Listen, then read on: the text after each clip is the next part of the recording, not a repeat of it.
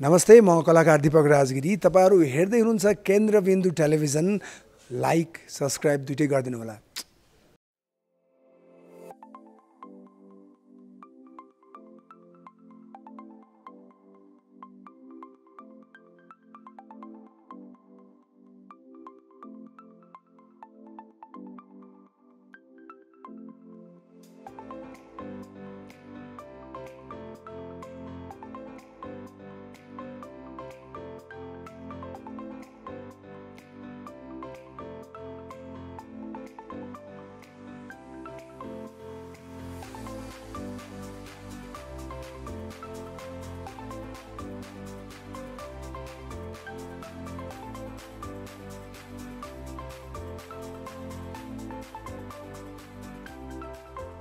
यति बेला राजधानीको ब्रान्डेड बजार दरबार मार्गका सम्पूर्ण सटरहरू बन्द छन्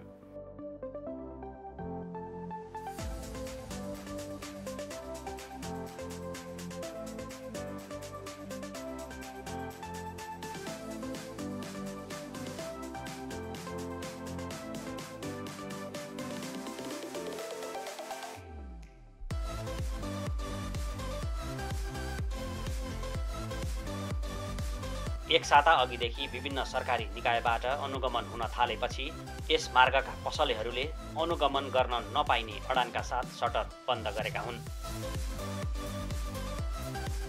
गत बुधबारदेखि आपूर्ति व्यवस्थापन तथा उपभोक्ता हित संरक्षण विभागले उक्त मार्गका पसलहरूमा अनुगमन थालेपछि व्यवसायी एक भएर सटर बन्द गरेका हुन्। बुधबार सरकारी टोलीले दरबार मार्गका घडी पसलहरू वाच एन्ड सी र लुक्स तथा कपडा पसल लेभिज र बोस्नीमा सिल गरेको थियो। अनुगमनका क्रममा एक हजार पाँच सय रुपियाँ मूल्यको घडीलाई एघार हजार र एक लाख बिस हजार रुपियाँ मूल्यको घडीलाई दुई लाख पचास हजार रुपियाँसम्ममा बेचेको भेटिएको थियो।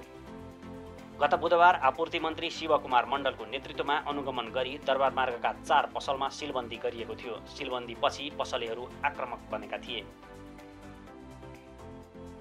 दसैँको बेला सरकारले पसल बन्द गराएर आफूहरू विरुद्ध अमानवीय कार्य गरेको व्यापारीहरूको आरोप छ। उनीहरूले भनेका छन् सरकारले भने जस्तो बिस प्रतिशत नाफाले हामीलाई पुग्दैन यो शोभायमान ब्रान्डेड बजार बन्द हुँदा उपभोक्ता भने छटपटाएका छन्। दरबार मार्गका पसलहरू कहिलेसम्म बन्द रहलान्? कसको पहलमा कसरी खुल्लान् यी पसलहरू? के व्यापारीहरूले भने जस्तो उनीहरूले मनोमानी गरिराख्न पाउलान्? यी तमाम प्रश्नको जवाफ आउने बेला भएको छैन।